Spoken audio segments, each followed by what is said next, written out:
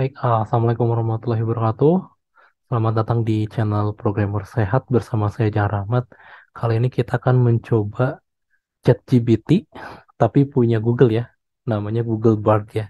Jadi kita akan mencoba untuk seperti apa sih ya kemampuan dari Google Bard ini, walaupun memang sebetulnya belum rilis secara publik ya, tapi rekan-rekan udah bisa mencoba ya. Jadi silahkan buka ke browser aja untuk linknya BRD ya, bard.google.com ya. Nah, silakan ini di copy, kemudian di dicari gitu ya. Nah, di sini ada satu permasalahan ya ketika kita ingin mencoba. Yang pertama adalah uh, di sini Bard is currently supported in your country artinya tidak tidak belum ter, didukung ya untuk negara kita. Jadi harus tunggu dulu. Nah, tapi tenang. Teman-teman bisa menggunakan VPN ya. Nah, kebetulan di sini saya di Google Chrome saya menggunakan VPN ya. Ini ada silakan cari aja banyak kok caranya ya untuk apa namanya untuk menggunakan VPN di Google Chrome. Oke, saya jalankan dulu VPN-nya ini saya pakai yang London ya. Nah, jadi oke kita tunggu. Kemudian kita coba buka lagi sekarang.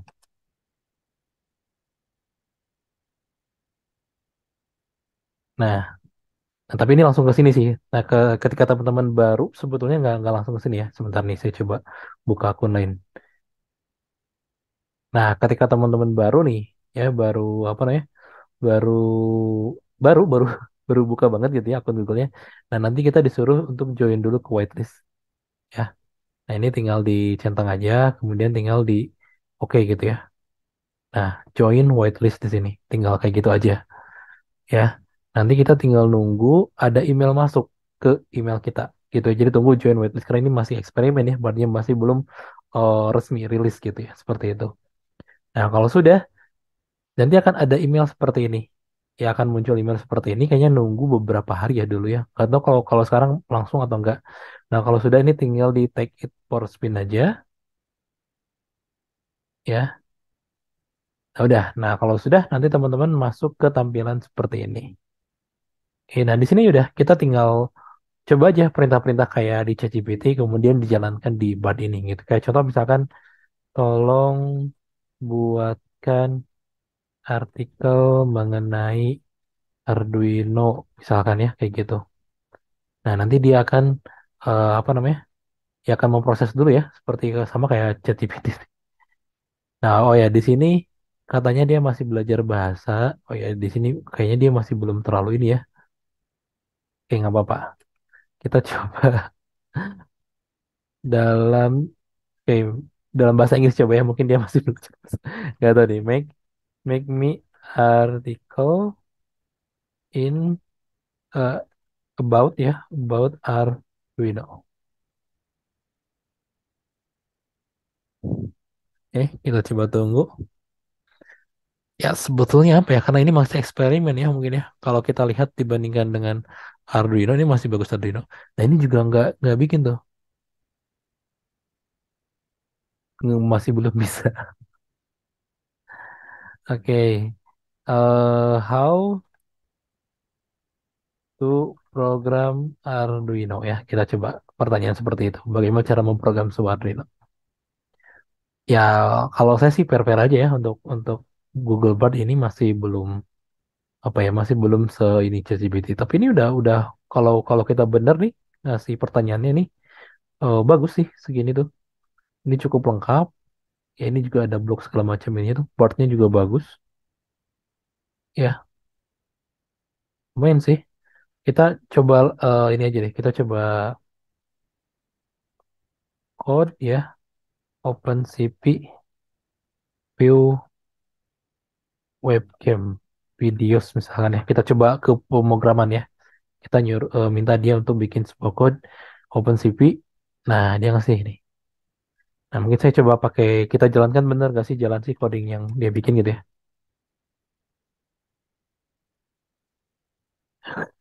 Nah ini, saya buka pakai Tony aja ya, pakai Tony IDE. Nanti kita copy si ininya, kita lihat dia jalan atau enggak gitu ya. Nih kita copy ya. Kita copy, ya kita paste, kita save. Kita coba ya, open CP dari Bard ya. dari Bart. Oke, kita coba jalankan. Oke, ini kayaknya webcam saya nggak bisa bareng ya jalan. Jadi coba mungkin matiin dulu. Atau bisa ya? Coba dulu deh. Oke, sama ini mungkin interpreternya saya ubah dulu bentar. Oke, kita coba jalankan. Nah, ini ada error di sini ya. No module name CPU itu. Ini kita copy aja errornya ke sini. Dia bakal ngasih tahu nggak errornya. Kalau di ChatGPT itu bisa, bisa dia bisa ngasih tahu dan ngasih solusi gitu ya. Kalau di Bard nih kita coba lihat. Oh, dia ngasih tahu nih, katanya untuk errornya eh, OpenShift itu nggak belum terinstall ya. Kita coba copy dulu. Kita coba eh, kalau di Tony sih sebetulnya. Sebentar, kalau di Tony kita harus install di package ya. Coba coba eh, ke ke configure lagi ya. Ini kan pakai lokal ya. Lokal Python 3. Oke, kalau ini paling ya coba pakai terminal aja. Nah, di sini ya. Kita install. Ini saya ngasih tahu perintah yang direkomendasikan oleh si Bard-nya untuk install uh, OpenCV Python ya. Ya ini nggak tahu jalan atau enggak karena uh, kalau kalau Tony sebetulnya dia punya punya Python sendiri ya, tapi kita kita lihat aja. Dia punya uh, apa namanya? Dia punya ini sendiri. Oke, coba jalankan. Nah ini udah nggak error nih. Berarti ya kita coba lihat. Hmm, oke agak lambat sorry. Sebentar ini.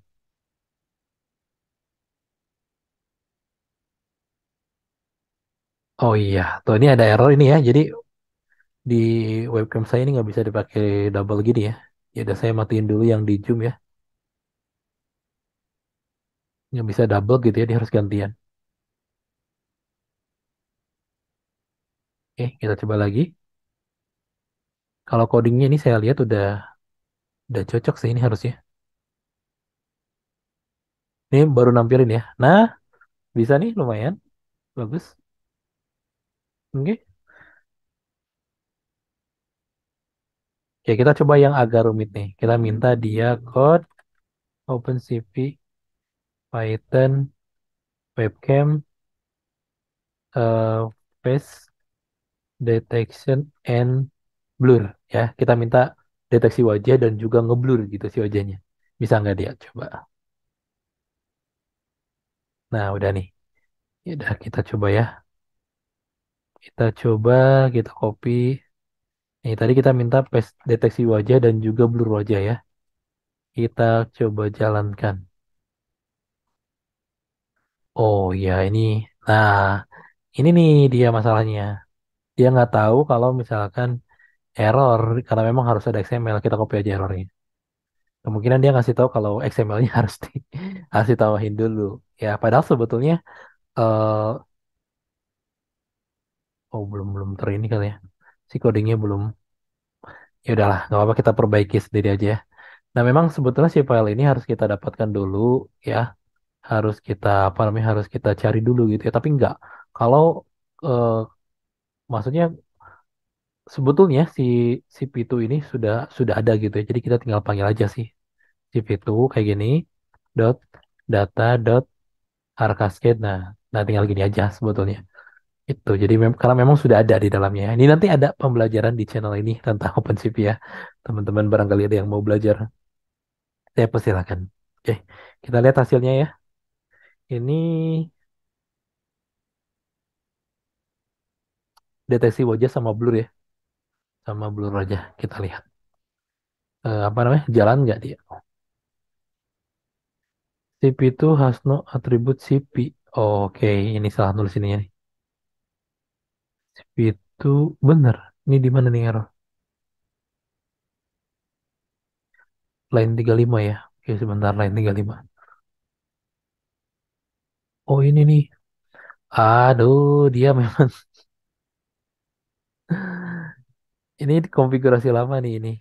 Jadi kalau OpenCV yang sekarang tuh nggak kayak gini. Ya, ini eh, konfigurasi lama ini. Coba kita copy aja. saya, saya minta perbaiki ya, dia bisa perbaiki nggak?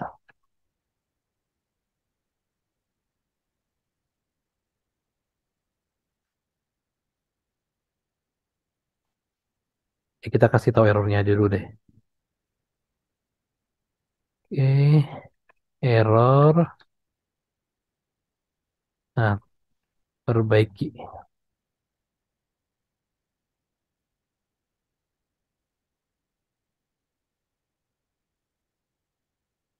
Jadi memang yang yang OpenCV yang terbaru settingannya tidak seperti ini, makanya error.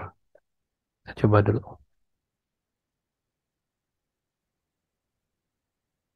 Masih dia cuma ngasih ini doang. Ini harusnya nggak coba. Nggak ada yang berubah tuh kan. Ini mah salah nggak kayak gini. Eh, atau mungkin bisa. Nggak tahu nih. Kita lihat. Kita tunggu. Mungkin bisa ya. Mungkin dia. Mungkin dia.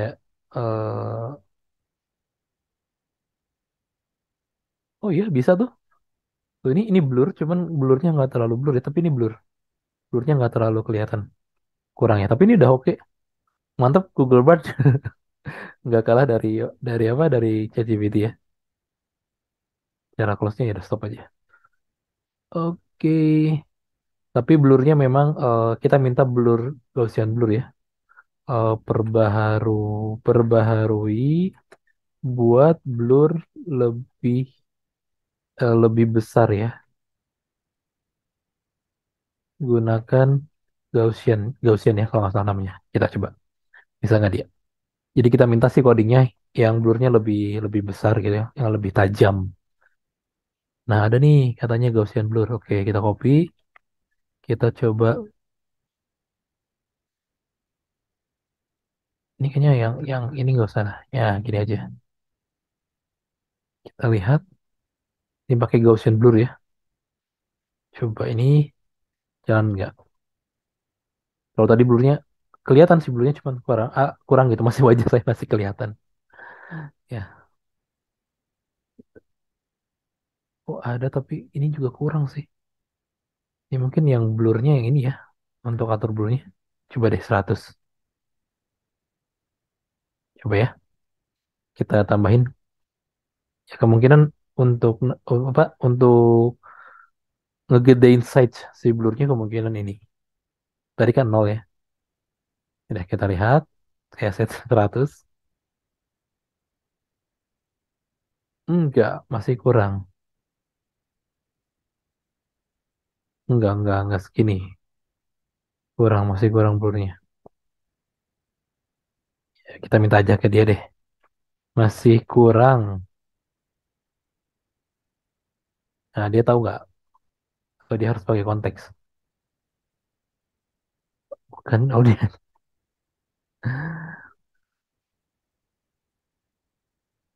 blur, blurnya masih kurang. Wajah masih kelihatan. Tolong besarin nilai blurnya. Nah, kita minta kayak gitu.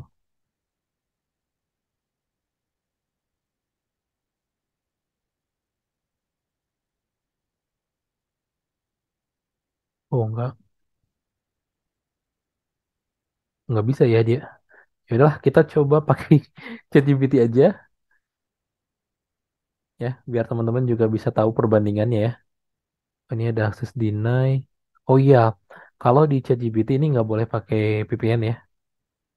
Nah, VPN-nya harus matiin dulu. Ya, dia keamanannya bagus sih.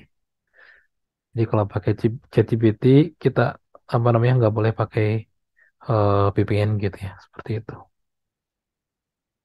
Kayak gitu. Oke, oke. Coba nih, saya minta perbaiki. Untuk tuh di sini di ChatGPT itu dikasih tahu ya menjadi 77 katanya tuh untuk atau lebih besar tergantung ininya. Anda juga bisa menambahkan nilai ketiga dalam bentuk sigma X dan sigma Y untuk mengontrol intensitas blurnya katanya tuh. Udah nih, coba copy ya. Nih, kita lihat. Oke, kita coba.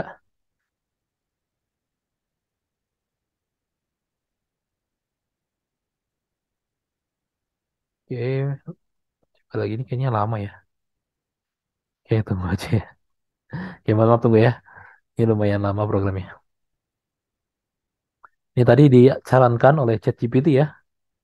Oh, gaussian blurnya diatur jadi 7 7 dan ini katanya untuk in- intensitas si blurnya. Tapi masih ya, masih kurang segini tuh. Masih kurang ngeblur.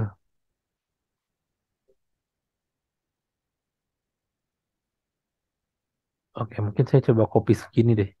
Kita ke ChatGPT, perbaiki coding berikut, buat blur sampai menutupi wajah.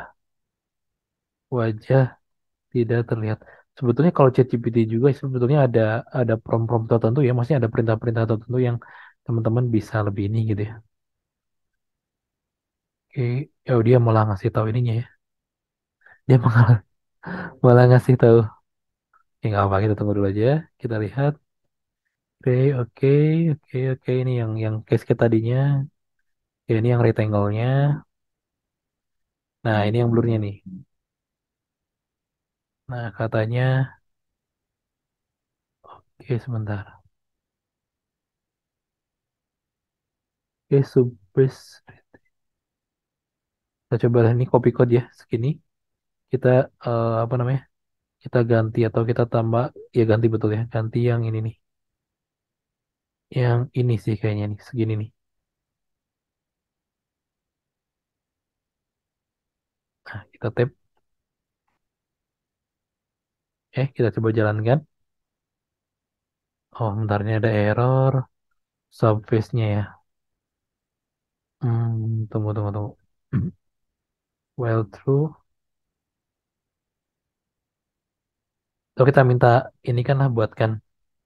Buatkan dalam satu coding. Nah, gini aja. Biar tinggal kopas kitanya. Oke, oke, oke. Ini menarik loh ya. Kita belajar OpenShift, OpenShift itu menarik. Nantilah kita ya. Kita akan belajar OpenShift ini. Seru gitu ya untuk dipelajari itu.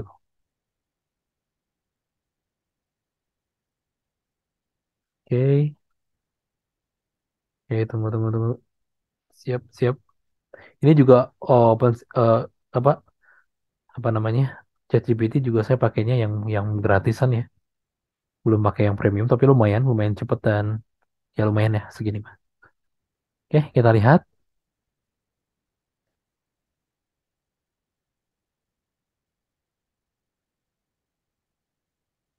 Eh, kita tunggu. Nah, ini bagus nih. Tuh sampai wajahnya keluar semua.